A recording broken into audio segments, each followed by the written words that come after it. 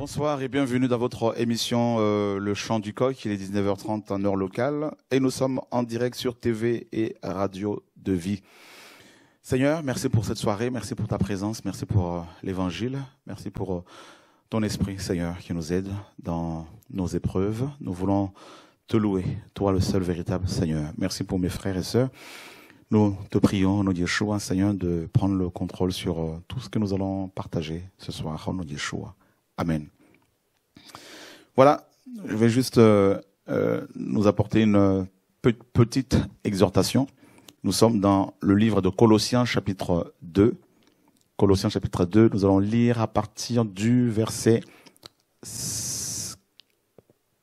premier.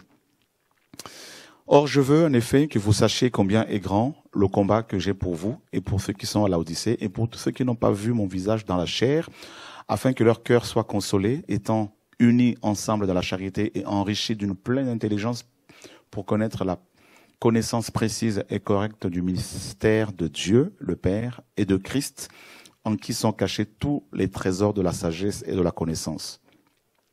Or, je dis cela afin que personne ne vous trompe par des discours séduisants. Car bien que je sois absent de corps, toutefois je suis avec vous en esprit, me réjouissant et voyant votre ordre et la fermeté de votre foi que vous avez en Christ. Ainsi comme vous avez reçu le Seigneur Jésus-Christ, marchez en lui, étant enraciné et édifié en lui et affermi dans la foi, tel qu'on vous l'a enseigné, abondant en elle avec action de grâce. Prenez garde que personne ne fasse de vous sa proie par la philosophie et par de vaines tromperies, selon la tradition des humains, selon les rudiments du monde, et non selon Christ. Car en lui habite corporellement toute la plénitude de la divinité. Et vous avez, et vous êtes comblés en lui, qui est le chef de toute principauté et de toute autorité. Alléluia, gloire à Dieu.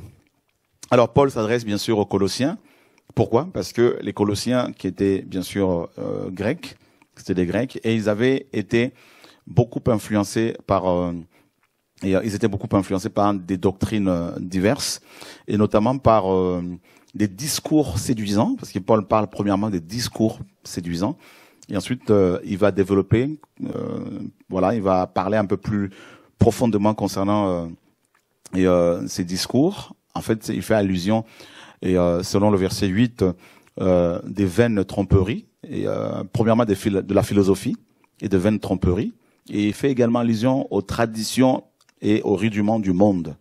Voilà. Donc ces discours, n'est-ce pas Et euh, c'était tout simplement de la philosophie. Voilà. Dont l'objectif était de tromper les chrétiens. La philosophie. Également les traditions d'hommes. Et euh, il y a eu une église qui est la plus grande, numériquement parlant, et la plus riche. Cette église-là, bien sûr, la richesse selon les hommes, pas selon Dieu. C'est l'église, bien sûr, l'église catholique. Et c'est une église, comme vous le savez, qui est bâtie sur les traditions d'hommes et, et, euh, et, non sur la parole du Seigneur véritablement. D'ailleurs, euh, les traditions euh, en question sont mises au-dessus de la parole de Dieu. Et malheureusement, il n'y a pas que l'église catholique. Il y a aussi beaucoup d'églises, euh, qu'elles soient protestantes euh, ou évangéliques euh, ou dites, les églises dites de réveil, sont beaucoup plus bâties sur les traditions d'hommes hein, que sur la parole du Seigneur véritablement. Et comme vous le savez, l'une de ces traditions, c'est bien sûr le dimanche qui est devenu au IVe siècle le jour soi-disant du Seigneur, alors que Dieu n'a pas de jour. Et il y a plein de traditions qui sont des traditions d'hommes que vous connaissez tels que les enseignements euh, qu'on appelle le catéchisme avant le baptême. Donner aux gens des enseignements avant de les baptiser, alors que dans les Écritures, les gens qui étaient, baptisés, ils l'étaient le jour de la conversion. Et euh, il y a plein, plein, plein d'autres traditions. Et le Seigneur disait aux pharisiens qu'ils avaient annulé la parole du Seigneur par leur tradition qu'ils avaient établie. Et il est beaucoup plus facile d'annoncer l'évangile à quelqu'un qui n'a pas été influencé hein, par les traditions d'hommes que par euh, que de prêcher l'évangile aux gens qui le sont, qui sont fortement influencés par les traditions d'hommes. Donc il est beaucoup plus facile d'apporter la parole euh, du Seigneur aux personnes dites athées hein, qu'à ceux qui se disent même chrétiens dans le euh, cœurs desquels ont déposé, hein, a été déposé un enseignement erroné.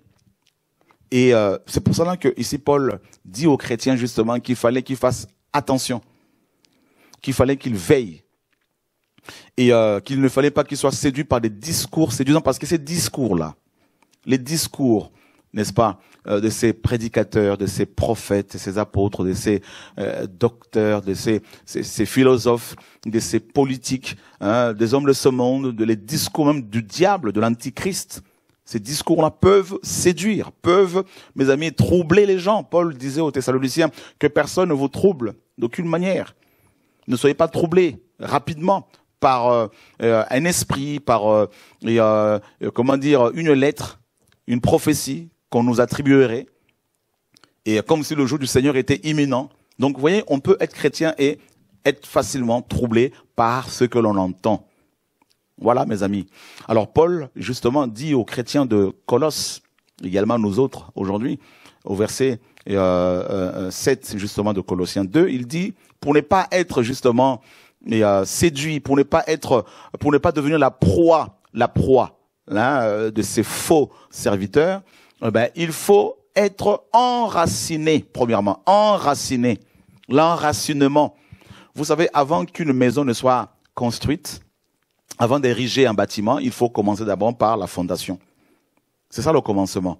Et malheureusement, beaucoup de chrétiens ne sont pas enracinés. Ils peuvent être chrétiens dans les assemblées depuis des années, ils peuvent côtoyer des pasteurs, être fidèles à leur église locale, sans être enracinés en Christ. L'enracinement implique une relation personnelle entre vous et Dieu, entre l'homme et Dieu. Cette relation-là, mes amis, est totalement indépendante des pasteurs, euh, d'autres chrétiens, parce que il y a des chrétiens qui vont prier quand ils sont en groupe.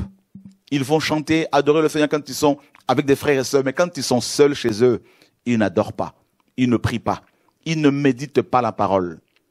Ils vont lire la Bible à l'assemblée. Ils vont lire la Bible lors des réunions d'église mais ils ne la méditent pas chez eux. Ils ne s'enracinent pas dans la méditation de la parole du Seigneur, dans l'évangile, dans l'adoration, dans la prière chez eux. Et ça, c'est la base de la vie chrétienne, la relation avec le Seigneur. Ça, c'est la première des choses, c'est le plus grand ministère que Dieu nous a donné. Et la parole nous dit dans Hébreu, l'auteur de l'épître aux Hébreux nous invite à être devant le trône, à nous approcher du trône de la grâce. Donc, on s'enracine comme ça pour qu'un arbre tienne face au vent, face, aux intempéries, cet arbre-là, mes amis, doit s'enraciner. Ses racines doivent être profondément ancrées dans le sol pour pouvoir aller puiser l'eau nécessaire, mes amis, euh, à la production des fruits. Voilà pourquoi l'apôtre Paul dit aux chrétiens de Colosse, Colosse, pour ne pas être séduit, pour ne pas être trompé, pour ne pas être la proie des faux serviteurs, des philosophes, des satanistes, du diable, des démons, des sorciers, il faut premièrement être enraciné et deuxièmement être édifié. Donc il y a l'enracinement, ça c'est le fait, c'est la profondeur. Ensuite il y a l'édification, c'est la hauteur. Voyez? Et l'apôtre Paul dans Colossiens, dans Éphésiens nous dit que nous devons connaître la hauteur, la profondeur, la largeur et la longueur de Christ. Donc il y a l'enracinement, donc là c'est la descente, on s'enracine, là c'est la racine, hein. donc euh, voilà. Et ensuite, il y a l'édification. Là, c'est la montée. Vous voyez, c'est l'édifice qui, qui est construit, qui, qui est bâti. C'est la maison qui est bâtie. Et ensuite, la troisième chose, c'est l'affermissement. S'affermir. Donc, il faut être enraciné. Deuxièmement, édifié. Troisièmement, affermi. Comment? Où Dans la foi.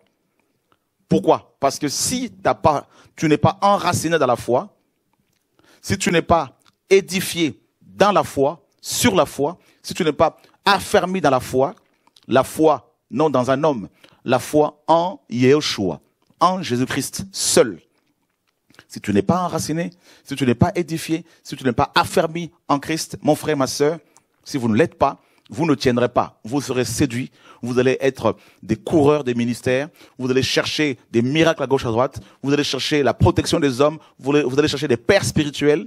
Hein. Vous allez chercher, euh, comment dire, les belles paroles auprès des pasteurs. Et vous allez, vous, serez malheureusement disqualifiés par le Seigneur.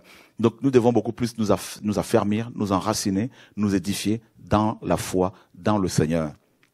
Et la parole nous dit que la foi vient de ce qu'on entend Et l'on entend par la parole de Dieu. On entend par le moyen de la parole de Dieu.